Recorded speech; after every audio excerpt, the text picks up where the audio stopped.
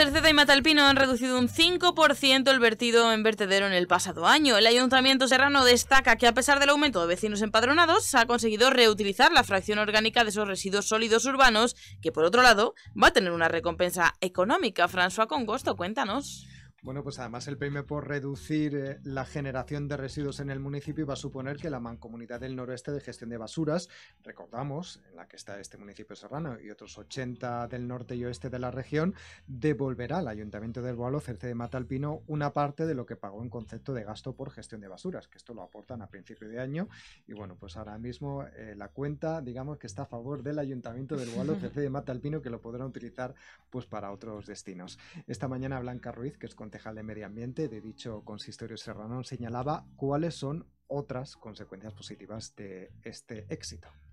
Pues la primera, eh, obviamente que contaminamos menos. Al reducir la fracción que es la que da el vertedero, pues eh, mejoramos la sostenibilidad desde el punto de vista medioambiental del municipio, pero también tiene un componente económico muy importante. En 2018, al hacer esta liquidación definitiva, pues tenemos un saldo a nuestro favor de casi 1.000 euros.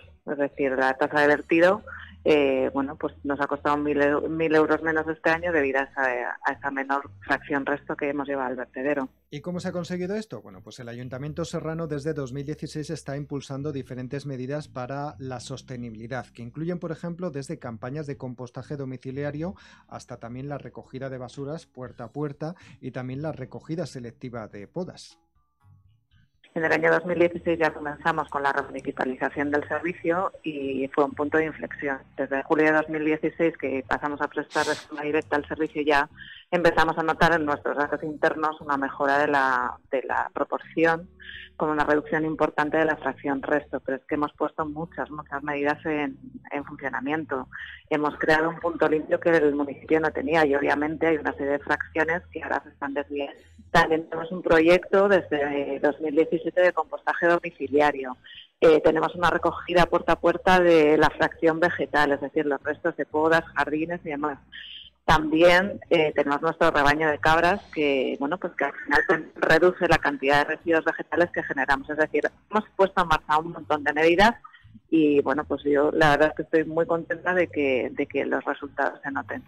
Ruiz ha señalado también que el ayuntamiento ha conseguido con estas medidas que haya una mejor separación de los restos orgánicos en casa, en la bolsa resto. Te recuerdo, Sonia, que esta bolsa resto es esa en la que van los restos orgánicos, las bondades de naranja y demás, pero también otro tipo de residuos no orgánicos que no van en los contenedores de papel, cartón, textil, vidrio o envases, ¿no? Y que, claro, pues todo eso va al vertedero y se entierra. Sin embargo, con la separación de residuos, orgánica por un lado y el resto por otra, bueno, pues se puede hacer que ese orgánico pueda ser reutilizado directamente en el municipio. Cuando los, residuos se depositan en contenedores en vía pública, los datos que nosotros tenemos internos, aunque todo esto eh, se va modificando de forma muy rápida. Es decir, probablemente el informe que estamos elaborando ahora del año 2018 arroje datos distintos. Pero cuando los depósitos, cuando el depósito se hace en vía pública, nuestra fracción resto se sitúa en torno al 70% de todas las fracciones que hay. Sin embargo, cuando hacemos una recogida puerta, la fracción resto solo es el 11%. O sea, en conclusión, la recogida puerta a puerta mejora muchísimo la separación en origen de los residuos. Y tú te preguntarás, Sonia, bueno, ¿y cuántas casas están ahora mismo utilizando esta recogida puerta a puerta? ¿no? Nosotros ya hablamos de este tema hace ya un tiempo. Bueno, pues actualmente hay 200 viviendas, en sobre todo urbanizaciones, donde se hace esa recogida puerta a puerta. Uno deja la bolsita en el frontal, en la puerta de casa y lo recoge directamente eh, el servicio ¿no? de recogida de basuras. Pero, no obstante, ahora mismo, desde diciembre, ya también se han incorporado pues, las empresas también en esa recogida puerta a puerta y para marzo, es decir, dentro de un mes escasamente, se van a incorporar 700 eh, viviendas más a, esa, a ese proyecto. Son datos recientitos ¿no? que nos ha dado esta mañana la concejal. Por cierto que, que Blanca Ruiz nos decía esta mañana que estas iniciativas medioambientales es verdad que no son fáciles, que es un argumento que han dado muchos ayuntamientos para, para, digamos, no ponerlas en marcha, aunque ya se están viendo en diferentes países europeos, pero que no obstante no son imposibles.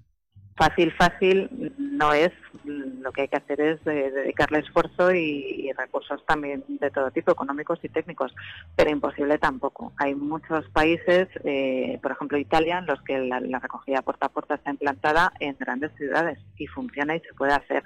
No es el mismo modelo, obviamente, que el del Boalo, que es un municipio eh, con bueno, pues una tipología de vivienda que facilita el proceso, por ejemplo, el proceso de compostaje. Casi todo el mundo tiene un jardín donde poder compostar, pero aquellos que no tienen jardín en pisos, pues el ayuntamiento les ha facilitado vermicompostadoras, que son las compostadoras que se pueden tener perfectamente en un balcón o en algún, eh, incluso en, en un sótano de una vivienda y que permite compostar también residuos orgánicos. Es decir, lo que hay que hacer es buscar la solución ideal para cada tipo de municipio o de, población. Por cierto, Sonia, que el Boalo CC de Matalpino es el único municipio de toda la región, fíjate, que participa con la Comunidad de Madrid y con el IMIDRA en un proyecto de agrocompostaje.